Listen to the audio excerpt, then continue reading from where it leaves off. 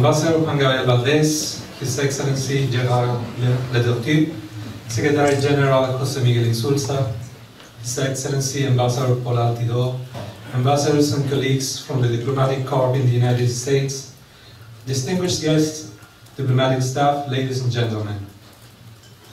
We are gathered here today for a very special ceremony to bestow upon His Excellency General Letertu with the Orden al Mérito de Chile in the rank of Gran Cruz.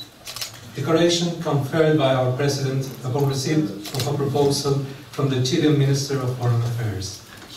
Ambassador Juan Gabriel Valdés will now take the floor.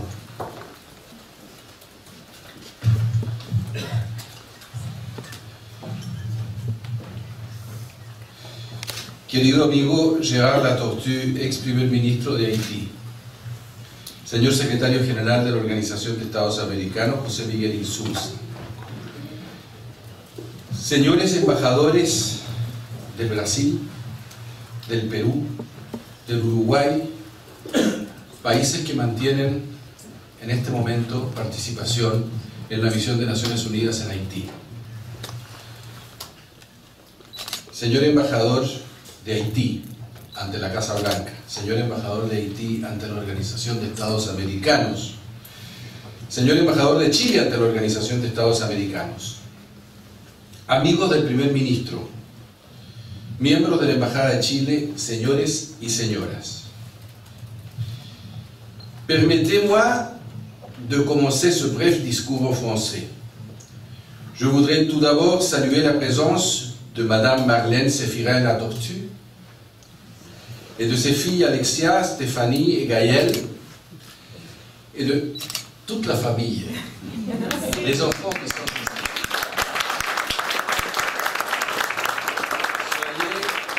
Soyez, soyez les bienvenus dans cette maison qui n'est pas seulement voisine de l'ambassade haïtienne, mais qui est amie d'Haïti. C'est vraiment un grand honneur de décorer son Excellence, Monsieur l'ancien Premier ministre d'Haïti, Gérard Latortue, avec la grande croix de l'ordre du mérite de mon pays, qui lui a été conférée par notre présidente Michel Bachelet. Je ne cache pas dans cette occasion les sentiments personnels d'amitié qui me lient à Gérard Latortue, avec qui j'ai eu la chance de travailler la main dans la main pendant deux années passionnantes et difficiles. Vivre directement cette transition haïtienne, être un témoin engagé, quelquefois même un participant à des décisions difficiles, m'a permis non seulement d'apprécier la grande qualité humaine du Premier ministre, mais aussi sa vision politique, sa résilience en face de l'adversité, son esprit ouvert à toutes les idées, à seule condition qu'elle rejette la violence et la division entre les Haïtiens. Dear friends, la Cruz de la Orden al Mérito de Chile is a distinction conceded to illustrious foreigners who have rendered important services to Chile. It was founded by Bernardo O'Higgins, our national hero, to show appreciation to our Latin American brothers and to our friends in the world who had helped us in our process of independence from Spain. Today, with this medal, our government wants to express its gratitude to Prime Minister Gérard Latortue for his support and that of his government to MINUSTA, the United Nations mission during its initial and most difficult phase in the country. In 2004, 500 Chileans and more than 2,000 Latin Americans went to the island to help Haitians overcome a historic moment of great division and polarization. The United Nations Security Council gave MINUSTA the task to support the provisional government in defeating violence, guaranteeing security and stability, and assisting particularly assisting the transitional government in the organization of free elections that would guarantee a recuperation of constitutional rule in Haiti. Let me say that without the support of the Prime Minister and the transitional government of President Boniface, our effort would have been impossible and our task even more difficult than it really was. We Chileans know well what transition to democracy is. We know that even when it begins like ours with a plebiscite, it is a very tough and tricky exercise. Let me say that much more difficult was a transition that started, like that of Haiti, within a context of crisis, chaos, and violence.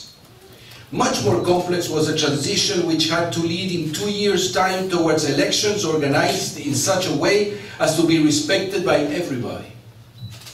If one considers that this political process was taking place in a society with tremendous political and social divisions, penalized by a long history of authoritarianism, poverty and conspiratorial politics, one can figure out the dimension of the task Prime Minister Latortue had to complete.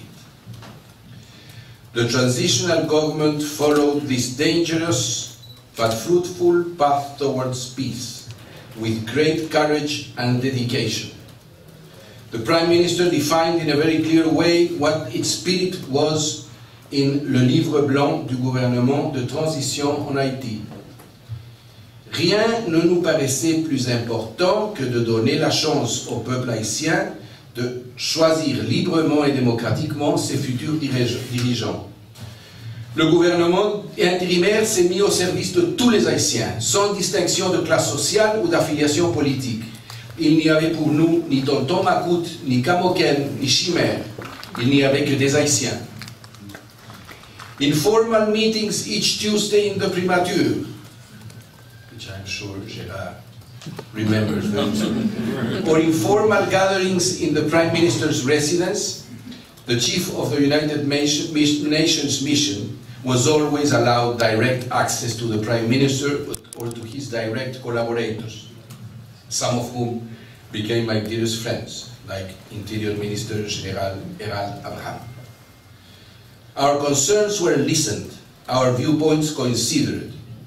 The mission military leaders, General, Generals Eleno, Bacelar, and Elito from Brazil, General Lugani from Argentina, and General Dunate from Chile were also received permanently by the Prime Minister. In fact, his doors were open to any member of our mission that needed direct contact. Prime Minister Latortue had a clear vision of his role as a leader of transition, of a transition, as a peacemaker among Haitians, but also as a partner of the international community in confronting a national situation which had come to the agenda of the Security Council. We did not always agree, but there was always respect for the functions each had to perform. The basis of this united effort was the respect the transitional government showed towards the Haitian people and to the Haitian process. The government led by Prime Minister Latortue did not intervene in the process leading to the elections. It maintained its impartiality vis-à-vis -vis the competing parties, while reaffirming at the same time that nothing, no act of violence, no conspiracy group would alter its decision to carry out an open and free electoral process. Chers amis, comme participant de cette histoire, je me sens quelquefois découragé quand je découvre une manque de reconnaissance vers ce gouvernement qui n'a cédé à aucune tentation de conserver le pouvoir, de se voir projeté par des amis ou associés, d'utiliser la magouille pour changer l'histoire. Quelques-uns d'entre vous me diraient peut-être que cette manque de reconnaissance est très haïtienne. Moi, je peux vous assurer qu'elle est très latino-américaine. Mais il y aura un moment, je vous assure aussi, dans lequel l'histoire d'Haïti reconnaîtra comme, comment les standards de dignité et d'esprit républicain du bref gouvernement du Premier ministre La Tortue sont essentiels pour conserver ce pays dans une ligne institutionnelle et démocratique. Que ce geste de reconnaissance que nous, Chiliens, faisons aujourd'hui puisse servir à le souligner. Merci en pile. Thank you very much. Muchas gracias.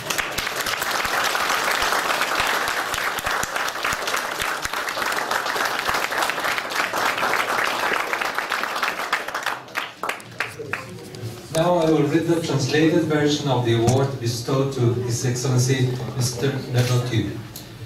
The President of the Republic of Chile, head of the Orden al Mérito, the Board of the Orden al Mérito de Chile, in session held on September 8, 2014, agreed to confer His Excellency Gerard Latortue with the rank of Gran Cruz de la Orden al Mérito de Chile, according to the decrees established on June 1st, 1817 and April 28, 1956.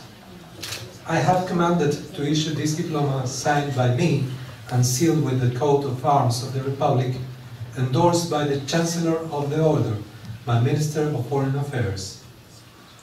The nation desires to convey by this award the high esteem and appreciation and encourage you to continue your actions of virtue and noble friendship towards Chile, which so much distinguished you.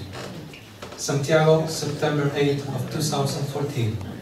The Board of the Orden al de Chile confers the rank of Gran Cruz to His Excellency Gerard Letortu. Following, the badges of the Orden al de Chile in the rank of Gran Cruz will be conferred upon His Excellency Gerard Letortu.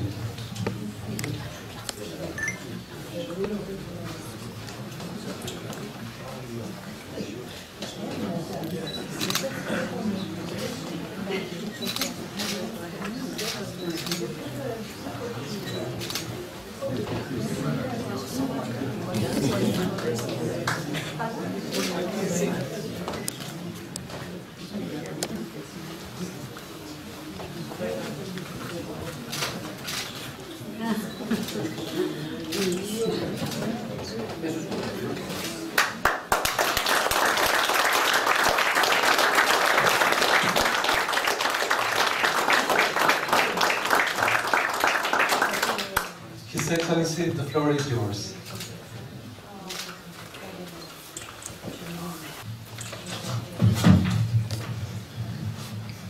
Excellences, Messieurs les ambassadeurs ici présents,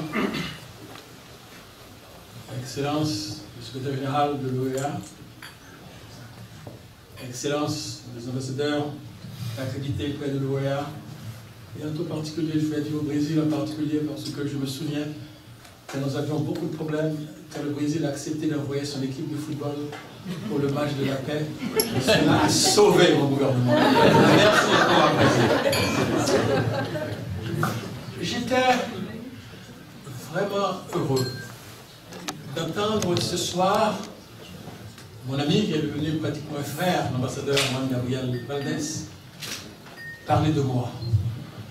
Et ça me rappelle le dernier déjeuner que j'ai eu à la primature avec le président Boniface Alexandre. Et je disais, comme une prophétie, j'ai dit, mesdames, messieurs, l'histoire contemporaine ne se souviendra pas du tout de ce que nous avons fait pour sortir le pays de la guerre civile qui nous menaçait. Mais quand le moment viendra d'écrire la grande histoire, à ce moment-là seulement, on se rappellera de ce qu'on nous avions fait.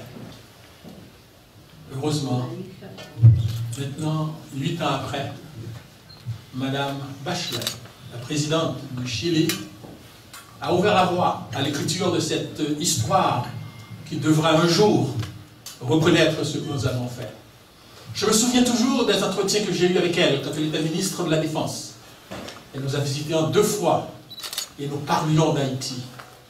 Sa sensibilité humaine, son sens du compromis, sa vision de la diversité et de se veiller à ce que la diversité triomphe sur les égoïsmes nationaux m'avait toujours frappé.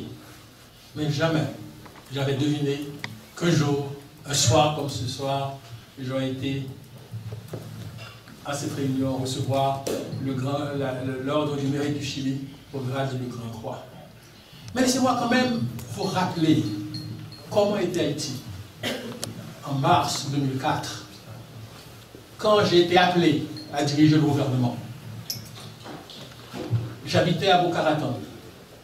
Je n'ai pas fait campagne pour devenir Premier ministre. Il y a eu un appel d'offres. Je suis le seul, peut-être, Premier ministre à avoir été nommé par appel d'offres. On a eu des lots d'une quinzaine de personnes, finalement réduits à trois. Les trois, j'étais considéré comme le candidat mineur. Et puis, brusquement, par une de ces curieuses coïncidences du soir, j'étais devenu le troisième homme, parce que les deux premiers, on n'arrivait pas allait dissocier ni allait choisir. Et c'est ainsi que je suis devenu Premier ministre. Je dois vous dire, j'ai rien dit à ma femme. Elle était à New York pour assister ma fille Stéphanie, qui donnait naissance à mon premier petit-fils, Lorenz. Et je l'ai appelé, je lui ai dit Marlène, je pars dans 48 heures, rentre vite, je suis le nouveau Premier ministre d'Haïti. Elle pensait que j'étais devenu fou. en fait, il fallait un grain de folie pour accepter d'aller en Haïti à cette époque-là. Il fallait un petit grain de folie. Tout, rien ne se fait sans un petit grain de folie de toute façon. Mais si j'ai pu réaliser quoi que ce soit, c'est grâce à deux personnes et grâce à deux institutions en particulier.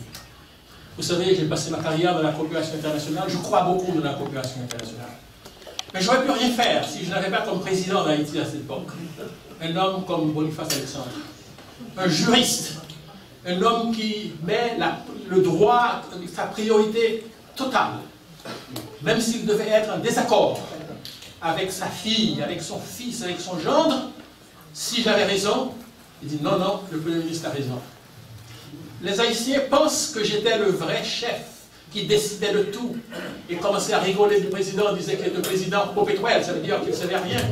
Mais ce qu'ils ne savaient pas, c'est que je ne prenais aucune, je dis bien aucune décision sans parler au président. Je le voyais tous les jours. Et dans les travaux que je fais comme consultant pour les Nations Unies après, j'ai toujours recommandé que personne ne peut être un grand Premier ministre si on n'a pas aussi un grand président. Malheureusement, certains hommes se laissent emporter par le pouvoir. La deuxième personne que je dois citer, c'est celui qui est à côté de moi, Juan Gabriel Valdez. Quelque chose que beaucoup de vous, vous ne saurez jamais, m'a inspiré confiance en lui dès le premier jour. C'est que jeune exilé, en 1963, j'ai dû partir quitter mon pays en exil. Je débarquais aux États-Unis. J'avais à peine une dizaine ou une vingtaine de dollars en poche. Et à ce moment-là, le gouvernement américain, c'était sous le président Kennedy, m'a accueilli, on, on me trouvait encore, on me cherchait un poste. Et parmi les personnalités que j'ai rencontrées, c'était son père, qui était à l'assistance technique à New York. Je l'ai rencontré en été 1963. Et quand le secrétaire général des Nations Unies, Kofi Annan, me parlait de Juan Gabriel Valdez comme un candidat possible, le nom tout de suite m'a frappé. Et quand je l'ai rencontré peu de temps après Washington, j'ai dit c'est ça, c'est l'homme qu'il nous faut. Et il a été à côté de moi, un partenaire avec qui on discutait de tout. Et quand on n'était pas d'accord, on essayait d'aplanir les différences pour arriver à un compromis dans l'intérêt d'Haïti. Je dois lui rendre un hommage particulier pour son sens du devoir, pour la compréhension qu'il a du rôle de la coopération technique, qui n'est pas d'imposer un schéma de développement, qui n'est pas d'imposer une formule qui aboutit au succès, mais de chercher ensemble avec les différents secteurs de la population. C'est d'être un allié à nul autre pareil. Je dois aussi saluer deux institutions. L'une, c'est l'Organisation des États américains, vous présentez ce soir par son secrétaire général qui est là présent. Et ce que les Haïtiens ne disent pas, ils parlent toujours de l'ingérence étrangère. Mais c'est que l'ingérence qui a conduit à ma nomination, parce que c'est la communauté nationale qui a créé un comité tripartite pour désigner par appel d'offres un Premier ministre cherché un peu partout dans la diaspora haïtienne, eh bien cette décision est prise après que l'OEA ait envoyé 23, je dis bien 23, missions en Haïti, pour essayer de rapprocher ce qu'on appelait à l'époque la convergence démocratique et puis les Lavalassiens. Ils n'arrivent pas à s'entendre. Et finalement, on est venu avec cette formule, je suis devenu Premier ministre. Je pensais que les Haïtiens allaient apprendre la leçon, mais les événements de nos jours, de ces jours-ci, me laissent perplexe. Je crois que finalement, les Haïtiens n'arrivent pas à s'entendre. Et qui sait, j'ose pas le croire, qui sait qui les menace si dans les prochains jours, nous n'arrivons pas à organiser les élections. Il n'y a pas de futur pour un pays sans des élections libres, démocratiques. Il n'y a pas d'avenir pour les gouvernements du genre de ceux que nous avions dans le passé. La présidence à vie n'était pas négociable. Aujourd'hui, on ne peut pas parler de ça. Les populations veulent des gouvernements qui répondent aux populations, qui répondent au peuple et qui soient comptables des deniers publics. Alors c'est dans ce contexte que je suis arrivé. Pour aller très rapidement, je vais vous présenter quelque chose quand même pour... Je voudrais que vous laissiez cette salle ce soir sachant ce qui s'est passé. La situation était désastreuse au départ du président Aristide. Et tout était, tout était, il n'y avait pas de structure, il n'y avait pas d'institution qu'il fallait. Les, les, gens partaient de partout. Et alors, il nous fallait élaborer une stratégie pour faire face à cette situation. Et bien, cette stratégie, nous l'avons construite autour de quatre axes principaux. Le premier axe, c'est que, à la bonne dame des partis politiques, je dis, je ne veux pas de représentants de partis politiques dans mon gouvernement. Ils viennent défendre leur parti, leurs partisans, alors que c'est Haïti qu'il fallait défendre. Alors là, j'ai décidé un gouvernement de technocrates, un gouvernement de gens dont la seule contribution était de redresser la situation ici. On me l'a beaucoup reproché. Mais après, les gens sont finalement compris que c'était la bonne formule. Deuxième stratégie, c'était d'avoir un gouvernement politiquement neutre et impartial. J'ai demandé à tous les membres du gouvernement de n'accepter à être candidat à aucun poste aux élections qui allaient être faites. D'accepter non plus aucun poste diplomatique. Parce que l'histoire m'a enseigné que dans les conseils électoraux qui ont organisé les élections frauduleuses, la plupart des membres de ces conseils étaient devenus ambassadeurs après euh, à Paris, à Washington ou occupaient de postes. J'ai dit non, si vous êtes dans le gouvernement, vous devez signer un papier pour dire que vous allez accepter aucun poste du gouvernement qui sortira des élus.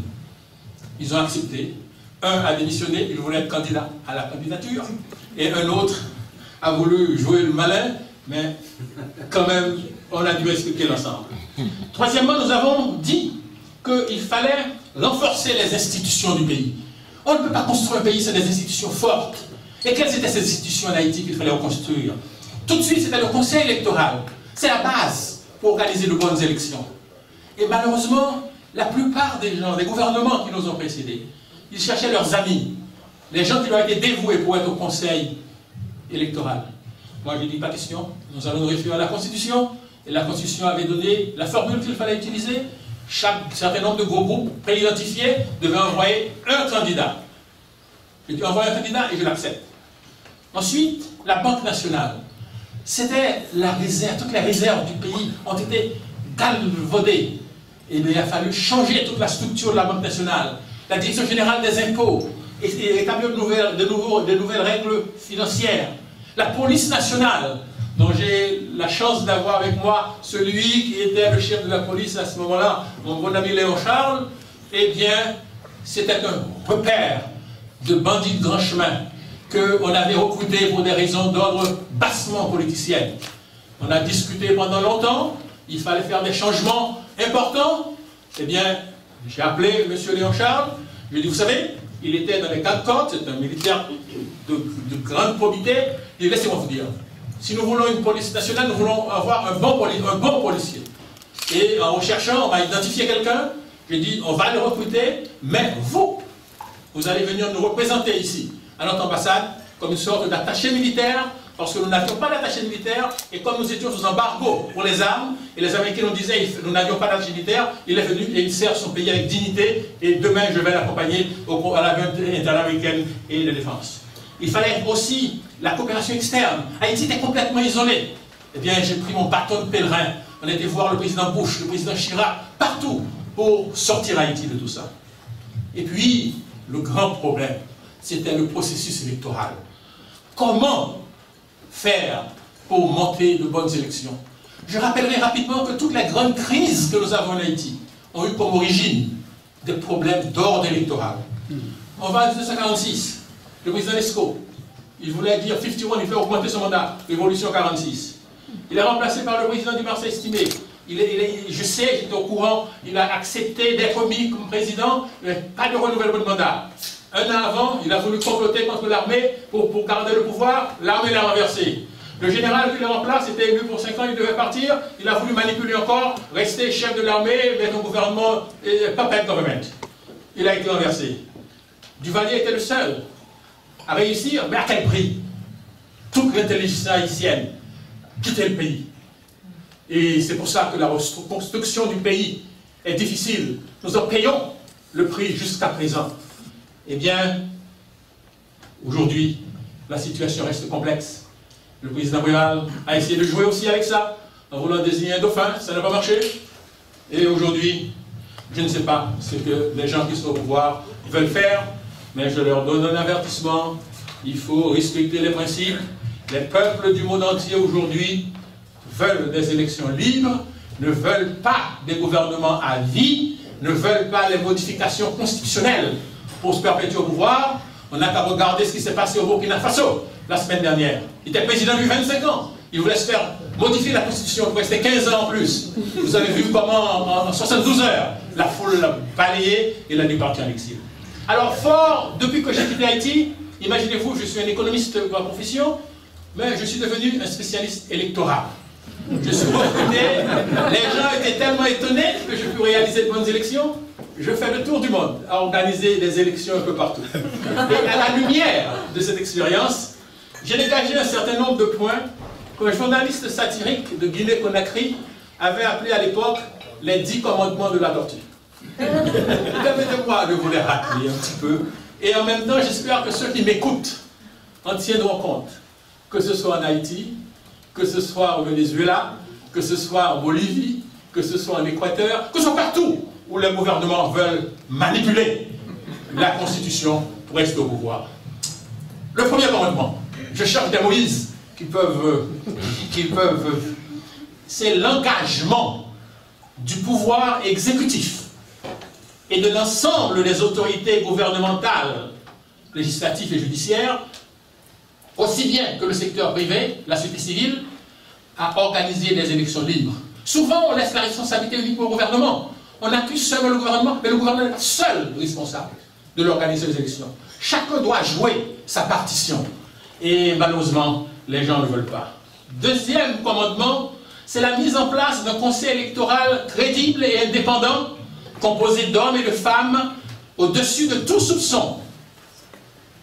Et surtout, ils doivent être responsables de préparer le projet de loi électorale qui devra être soumis après au Parlement pour approbation. Nous n'arrivons pas à le faire nous cherchons toujours à nommer des amis au conseil électoral. On n'a pas besoin d'amis. Moi, je ne connaissais aucun des membres de mon conseil électoral. Ils n'étaient pas mes amis. Mais ils ont travaillé. Et puisqu'ils n'étaient pas mes amis, je pourrais travailler avec eux et leur dire ce qui est bon, ce qui est mauvais. Le troisième commandement, c'est totale neutralité des autorités gouvernementales qui ne doivent apporter aucun support logistique ou financier aux partis politiques. Je peux vous assurer, mon gouvernement n'a pas dépensé un dollar en faveur ou contre un gouvernement, un parti politique ou un candidat. Mon gouvernement n'a jamais vu une voiture de l'État, ou pas une voiture officielle de les campagnes des candidats. Nous étions restés complètement en dehors. Et moi, j'avais naturellement mon propre candidat aussi, j'avais mon candidat préféré. Et quand les gens venaient me demander pour qui voulez-vous que je vote, j'ai dit non, monsieur, ma décision de voter est une décision personnelle, vous aussi. C'est vous qui devez décider sur la base de ce que disent les candidats, les projets qu'ils présentent, mais moi, je n'ai rien à vous dire. Ceci, c'est indispensable. Mais dans notre société en Haïti, je vous l'avoue, c'est difficile à réaliser. Le quatrième, c'est libre et égal accès aux médias d'État. Et aussi une réglementation des médias privés. J'ai vu un cas au Gabon où un des candidats possédait une station de télévision et 24 heures par jour manipuler la population en faveur de ce candidat. Je crois que ceci ne doit pas être admissible dans un processus électoral, sinon c'est privilégier les forces d'argent sur les autres attributs de gouvernement. Et la cinquième, c'est la mise en place d'urnes transparentes à l'ouverture des bureaux de vote. Souvent, là, Haïti, j'allais, les urnes étaient des boîtes de carton. Personne ne savait si les boîtes arrivaient vides ou pas. Et bien aujourd'hui, avec l'action que j'ai menée avec l'Organisation internationale de la francophonie, il y a des urnes uniquement transparentes. Tout le monde peut voir au début des opérations électorales que la boîte est vide. Et tous les, tous, les, tous les partis politiques et tous les candidats devaient être là au moment de l'ouverture des bureaux. Le sixième, c'est l'utilisation d'encre indélébile pendant au moins 48 heures Parce qu'il y a des trafiquants qui utilisent des encres, après une heure, vous allez vous laver les mains avec du soda, et puis l'encre part. Il faut veiller à ça, et surtout, et faire en sorte que, le bon usage des cartes et des cartes de vote soit digitalisé afin de pouvoir identifier les électeurs et les électrices. Le sixième, c'est la présence de mandataires préalablement formés des partis politiques et, et des candidats dans les bureaux de vote pendant toute la durée du vote. J'entends les candidats me dire, nous n'avons pas d'argent pour payer ces mandataires, il faut les payer. Mais si vous n'avez pas d'argent, pourquoi vous voulez faire des élections? Pourquoi vous avez 30 candidats à la présidence? Vous avez 35 parfois. Dans mon temps, il y avait 57. Pourquoi ils ne s'unissent pas? Présenter deux ou trois candidats, d'autant plus que leur programme, d'abord, ils n'en ont pas. Quand ils en ont, c'est plus ou moins la même chose Huitième, c'est la sensibilisation et la motivation des électeurs et des électrices afin d'augmenter les taux de participation. Nous avons fait un travail fantastique de mobilisation. On a eu plus de 68% de participants euh, aux élections de 2006. Eh bien, il faut veiller à tout ça. Neuvième, c'est la signature des procès-verbaux par les mandataires, le scellage et l'affichage public des procès-verbaux sur les lieux mêmes de, vote. Et finalement, le transport sécurisé des procès-verbaux vers les centres. Et la sécurisation, jusqu'à présent, été assurée par la MINUSTA. Et j'espère que la MINUSTA va pouvoir continuer à rendre service tant qu'il est là. Pour terminer, je dois dire deux mots rapidement. L'un, c'est pour saluer la présence de l'ambassadeur Roger Noriega ici. À un moment où tout allait mal tourner. Je me rappelle, il y avait une réunion de l'OEA et nous avons contacté l'ambassadeur Noriega. Il a su défendre les principes que nous défendions. Et là, je dois en dehors de toute question d'ordre politique, je dois dire que le soutien que j'ai eu de l'ambassadeur Yorega, du département d'État, que ce soit avec le général Colin Powell ou bien avec, euh, avec, euh, euh, Rice, ça a été toujours total, un appui total, et à chaque fois que les éléments généralement rattachés aux, aux sources d'intelligence américaines faisaient des rapports pour changer le gouvernement, eh bien, tous ils disaient non, ce gouvernement de transition ne partira qu'après l'élection de notre gouvernement. Pas question d'avoir un autre gouvernement de facto. Ambassadeur Noïla, laissez-moi vous dire publiquement aujourd'hui, merci, je m'en souviendrai pendant longtemps du rôle que vous avez joué dans tout ce que nous avons fait. Et mon dernier mot, ce sera encore, pour reprendre mon premier mot, de dire merci à vous. De dire merci au ministre, au président de la République, Madame Bachelet, et je porterai avec fierté cette décoration. Merci en pile, muchas gracias.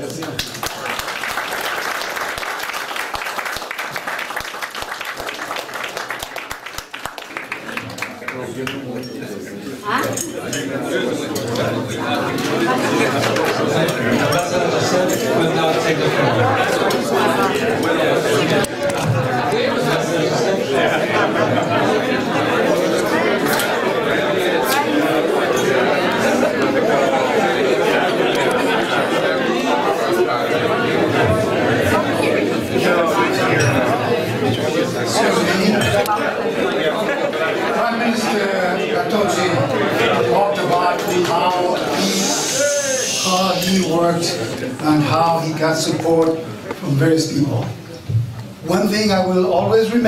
about him is that he never forgot his roots. His sister, Marie-Thérèse, is here. And whenever he arrived in New York, the Secret Service knew where he had to go, to Marie-Thérèse's place. And the Consul General of Haiti back then, Felix Augustin and myself, we used to meet him before he was prime minister. He always says, and we're going back to Marie Therese's place. And you know why? Because she prepared the food for from Monaco. but the main reason was that Marie Therese had a group who came and sang for him. And the song in French was Sois sans alarme et sans frayeur. Dieu prendra soin de toi. Il est ton Père et ton berger. Dieu prendra soin de toi. Dieu prendra soin de toi dans le chemin jusqu'à la fin. Il prendra soin de toi tous les jours jusqu'à la fin. Don't be alarmed. Don't be afraid. God will take care of you. He's your father and your shepherd. God will take care of you. God will take care of you along the way until the end.